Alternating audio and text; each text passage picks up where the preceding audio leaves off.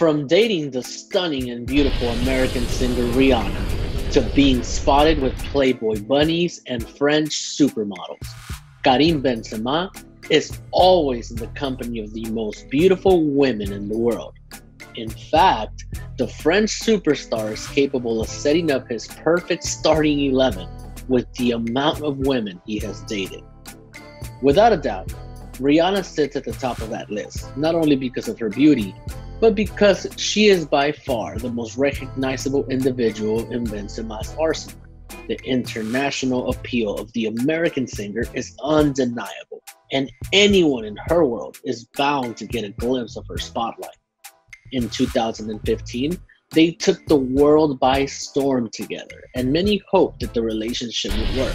However, it was short lived and each decided to go their separate ways. No one truly knows what happened or what ended the relationship, but of course, at the time, people who just read the headlines of the singer immediately jumped to conclusions and related the separation to Chris Brown. Regardless, Benzema stays consistent and breakups do not seem to bother him one bit.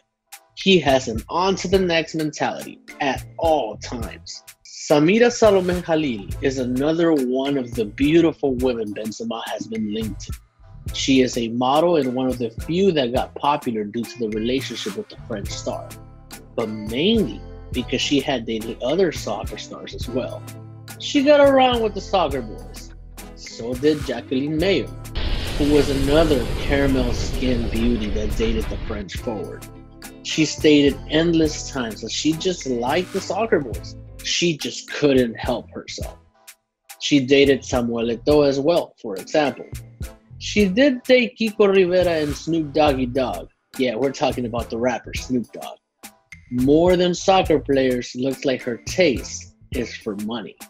Sarah Williams was also one of his girlfriends. At the time, Benz was 21 and she was only 15. This relationship, of course, was very controversial. In some countries, this is very much illegal. They broke things off then, but years later they tried it again and did so publicly. Needless to say, it did not work. He didn't just date younger. At some point, he dated French singer Jennifer Gael, who was older than he was. He was also seen dating Marta Riesco, a popular journalist from Spain, and so many more. The list goes on and on. Benzema has no chill when it comes to the dating game. That is probably one of the reasons he is such a prolific striker.